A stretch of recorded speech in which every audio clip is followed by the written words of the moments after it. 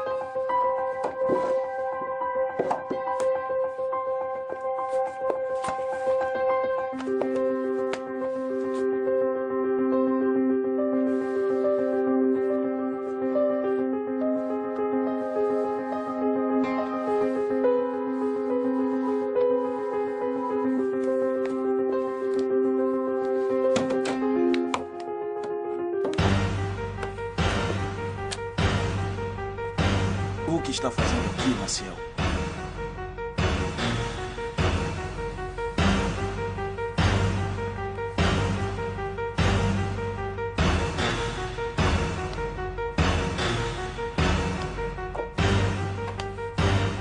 Onde está a mamãe?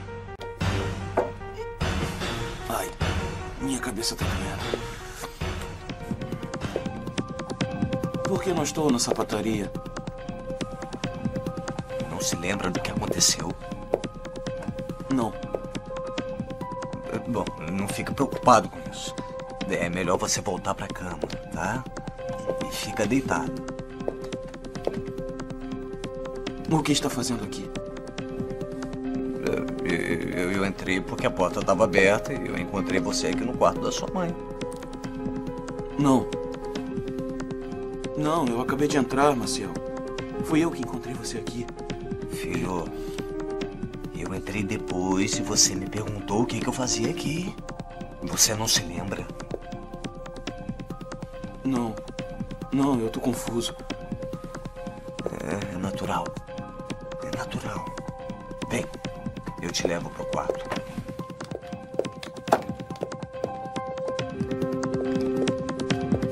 O José Alfredo e eu somos filhos do mesmo pai.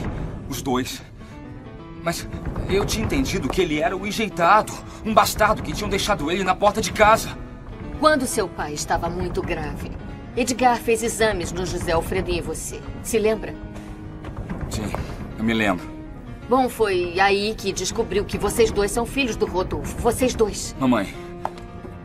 Mamãe, por que você não disse nada quando confessou a verdade? Porque tudo era tão doloroso que eu não quis confundi-los mais. Mas agora você já sabe. José Alfredo é seu irmão por parte de seu pai. Vocês têm o mesmo sangue, filho, goste você ou não. Mamãe, quem é a mãe do José Alfredo? Você sabe? Sei. Acabei de saber. Me conta. E pra que quer saber? Isso não vem ao caso. Me conta. Eu tenho o direito de saber. Tudo que eu peço é que não diga nada ao José Alfredo. Eu não quero que ele sofra mais. Você vai me dizer ou não vai? Está bem. Maciel me disse que Rosália. Rosália andava com seu pai. Segundo Maciel, Rodolfo lhe disse que a Rosália era a mãe de um de vocês. Não, porque você é minha mãe. Hum, Então a Rosália é a mãe de José Alfredo. A Rosália, aquela mulherzinha, dona da boate. Ah, que vergonha, mãe. Se soubesse que eu sou a verdadeira mãe do José Alfredo e é você quem pode ser o filho da Rosália.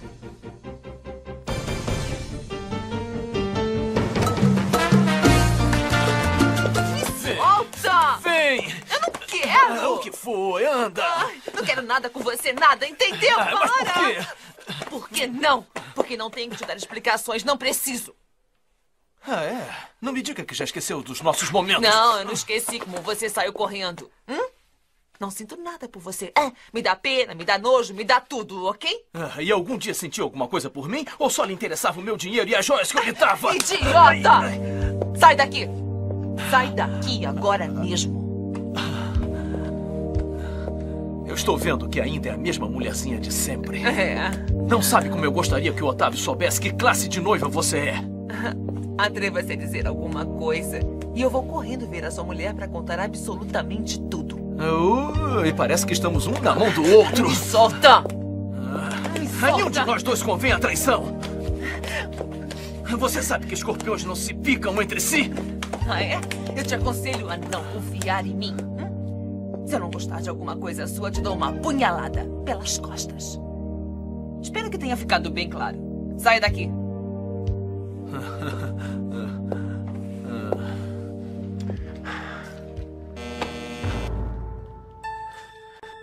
Será que é o Otávio? Como você é idiota. O Otávio tem a chave. Espera aqui. E por nenhum motivo saia, ouviu? Vai pra lá. Vai! Atchai! Ai, ai, Juliana, o que, o que está fazendo aqui? É que o Otávio me disse que estava resfriado e eu vim visitá-la. Precisa de alguma coisa? Que amor. Não, na verdade eu tô bem, eu não preciso de nada. Acho ai, que se ficar uns dias de repouso, isso vai passar. Bom, de qualquer forma, eu passei na farmácia e trouxe uns remédios para você. Obrigada. Não, não precisava se incomodar. Não, agora eu vou preparar um chá. Vá pro quarto e eu levo para você. No meu quarto? É, fica lá na cama, que fica pronto rapidinho. Ah, ai, não precisa, Juliana. De verdade, eu lhe agradeço muito, mas é só um resfriado. Não, olha, está sozinha, sem ninguém que te ajude. Então eu vou cuidar de você. Aham. Tá? Tá. Anda, vai pro quarto.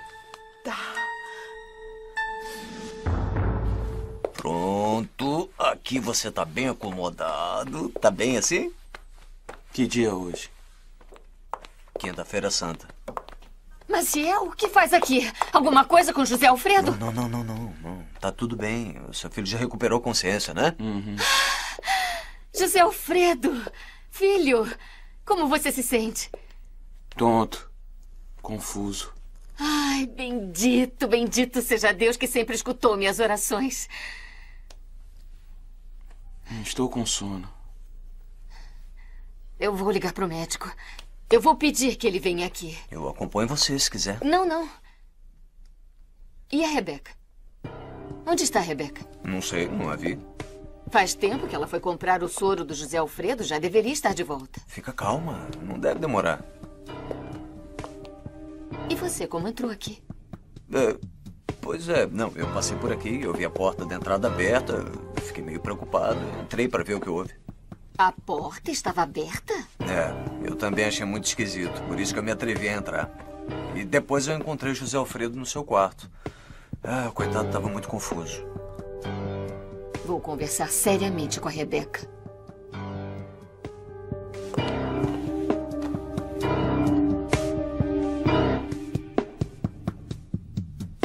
Aquela mulher, a Rosália, foi amante do meu pai. Agora entendo por que se aproximou tanto de nós desde que o papai morreu. Hum, José Alfredo é filho de uma vagabunda. Você vai conversar com o Padre Jesus. Sobre o quê? Já vai saber, anda rápido.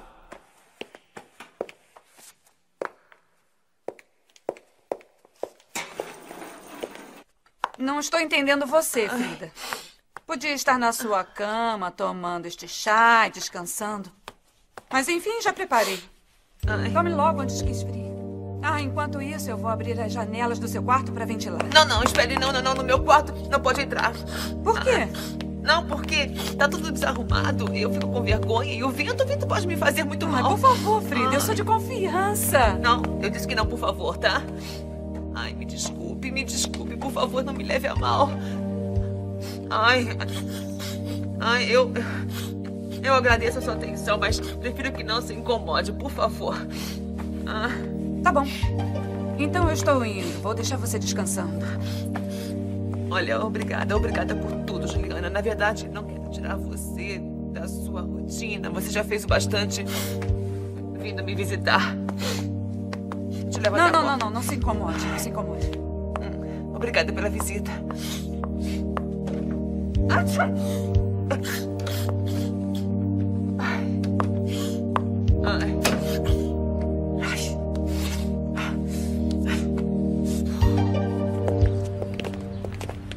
Como todos os anos, o dia de amanhã, Sexta-feira Santa, vamos representar aqui no presídio a Via Crucis. O figurino está pronto, padre. A cruz também. Muito bem. E como sempre, faremos no pátio. Algum voluntário para representar nosso Senhor Jesus Cristo? Ah, ele tem o cabelo comprido, hein? Eu não, mas você. Parece que ninguém se animou, padre. Vocês sabem que representar o papel de nosso Senhor Jesus Cristo é algo muito sério. Quem se oferece como voluntário? Eu tô fora aqui. Vai você lá. Você se oferece, campeão? Sim. Eu vou representar Jesus. Já que você se compromete a representá-lo, deve fazer com muita honra. É um ato quase sublime. Eu sei, padre. Eu sou católico e vou fazer com todo respeito. É assim que se fala, filho. Porque é uma maneira de vocês, pecadores, demonstrarem o seu arrependimento. A Via Crucis deve servir como um ato de contrição para que o Senhor ilumine seu caminho e os perdoe.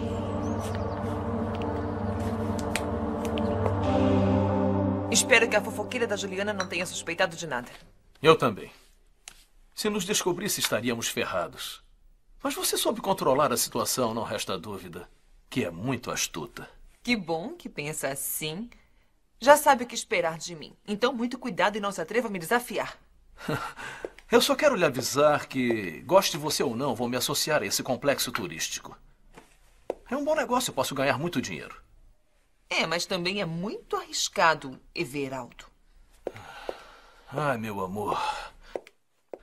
Você sabe que eu gosto de perigo.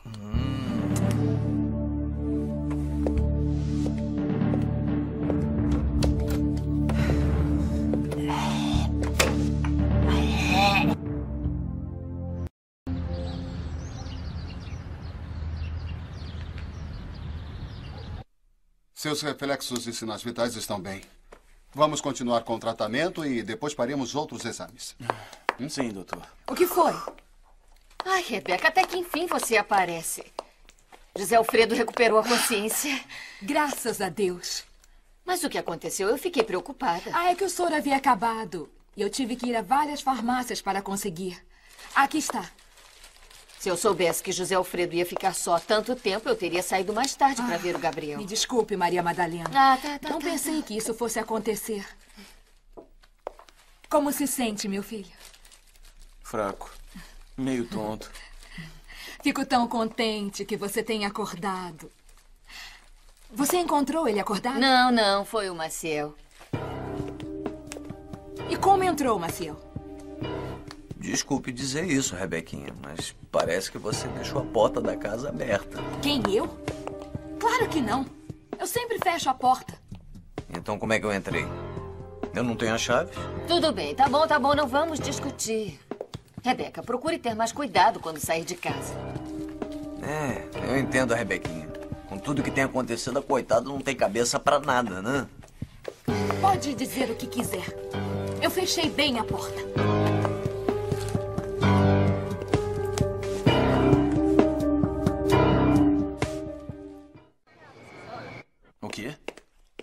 Você encontrou seu pai? É, eu vi na casa do Tito. Tem certeza? Eu tenho uma foto dele que a minha mãe guardava entre as suas coisas. Eu não sei se ele me reconheceu ou não, mas eu percebi que era ele. Olha. É ele. Não, não, não pode ser. Esse senhor trabalha na boate da Rosália. É o apresentador. Eu vi uma noite quando fui pegar a Fernanda. E agora o que vai fazer? Nada. Eu cresci sem pai. Se quando eu era menino não me fez falta, não faz agora. Olha, Rubem, não fala isso. Quer saber? Eu sou órfão de mãe. E se não fosse pelo meu pai, eu não sei o que aconteceria. Não pode comparar. O Vicente soube ser um bom pai para você. Ao contrário desse senhor, que abandonou a minha mãe quando soube que ela estava grávida. Não quero saber nada dele, entendeu? Nada! Oi, Ana Cristina. Eu vim visitar o José Alfredo. Ah, entra aí, ele já tá consciente. Ai, é mesmo? Ai, graças a Deus. É, eu também fiquei feliz. Pra mim, o José Alfredo e o Gabriel são como. como filhos. Hum. Ah, olha, Maciel, eu preciso dizer que eu conversei com a dona Josefa sobre o empréstimo que pediu ao banco. O que, que ela disse? Bom, que. Disse que ela concorda porque confia em você. Viu só? Não foi em vão que eu fui administrador da fábrica por tantos anos. Mas entra aí, entra pra ver o José Alfredo, entra. Obrigada.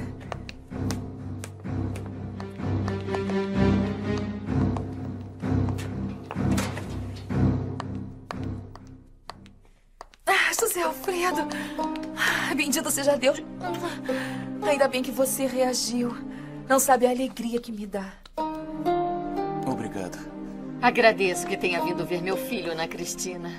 Marcel disse que hoje é quinta-feira santa. É isso mesmo. Eu quero ir amanhã à procissão que vai ter. Tenha calma, filho, tenha calma. Doutor, eu posso ir? Vamos ver. Tudo depende de como vai acordar.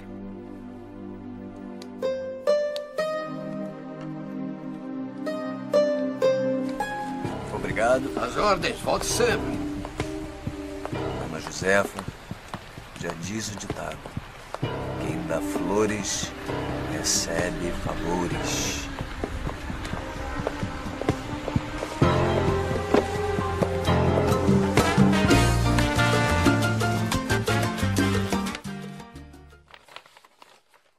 Eu acho que poderíamos convidar os hotéis dessa relação para participarem, não?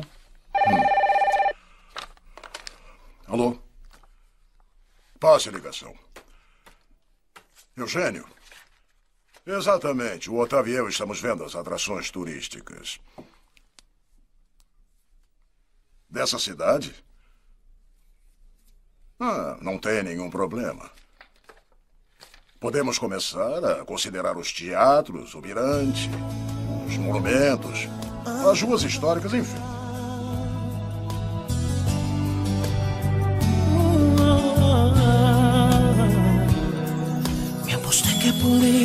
Engañarte fácilmente. No fue fácil, pero un día sucedió. Busqué después mil formas de humillarte. Y es así como confundí a mi corazón. Y es que tú no estabas en mis planes que yo te para siempre. Fuiste como un ángel. Esta vida me salvó. Entre el amor y el odio está la línea del perdón. Cruzarla significa darle vida a esta pasión. Y aunque el orgullo a veces pueda más que la razón, y aunque el alma se cierre entre el amor y el odio me enamoro más de ti, como dos sentimientos tan distintos viven hoy dentro de mí. Dona Cristina, telegrama pra você. Pra mim? É, Obrigada. de nada. Com licença.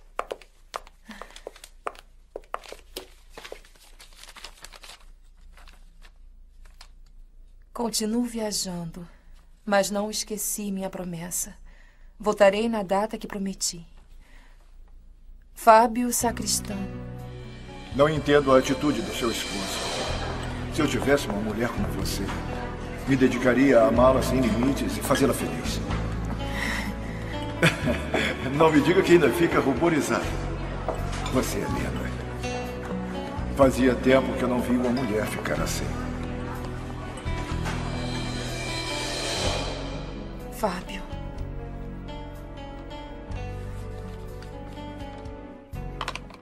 Desculpe. Podemos continuar. Está cansado? Não, não. Só estou um pouco preocupado com a Frida. Não liguei para saber como ela está. Bom, se quiser, continuamos amanhã. Não, Otávio, pensei que já tivesse ido. mas eu já estou de saída. Está preocupado com a Frida. Ah, a propósito, eu fui vê-la esta manhã e a achei muito estranha. Estranha. É, é, estava muito estranha. Não quis que eu entrasse no quarto dela. Eu insisti para ela descansar, mas ela se negou a ficar na cama. Bom, nem todo mundo gosta de ver alguém entrando no seu quarto. Bom, de qualquer forma, me pareceu estranho. Eu apenas queria ajudar. É, eu, eu agradeço e peço, por favor, que a desculpe. O que é isso? É uma bebida para mim? Não, não, é pro meu pai. A minha mãe preparou e pediu que eu trouxesse. hum? Insistiu muito que você a tomasse. Onde está a sua mãe? Foi jantar com umas amigas. Ficamos de nos ver mais tarde em casa. hum? Bom. Otávio, por favor, peça ao papai para tomar o remédio todo, tá? Eu vou até a sala da mamãe revisar umas fotografias. Até logo. Tem que cumprir as ordens da sua esposa, então beba isso.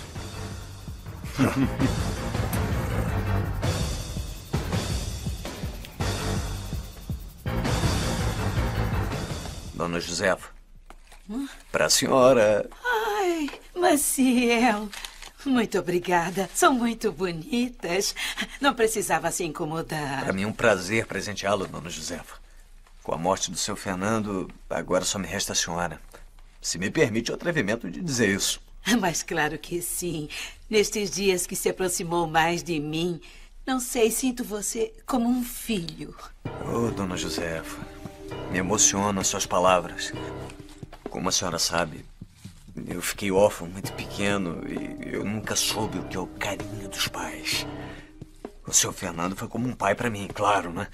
E agora a senhora, eu a vejo como, como uma mãe. A mãe que eu nunca tive. Ai, Maciel, você me emociona.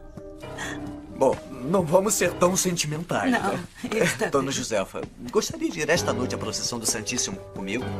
Adoraria. E o Gabriel, como está? Triste, amargurado. Já sabe que o Gabriel não é tão forte como você e tampouco tem a sua personalidade. Já não sou tão forte. Estou fraco e confuso. Não, não, não, não. Não se preocupe. Você vai ver como vai se recuperar pouco a pouco. Eu te amo muito, mamãe. Muito. E eu a você. Eu te amo. Não sabe o quanto eu sofri pensando que poderia perder você.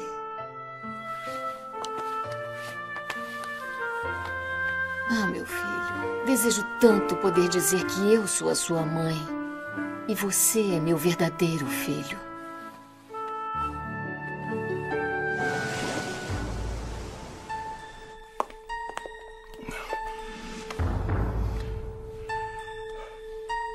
De repente, eu me senti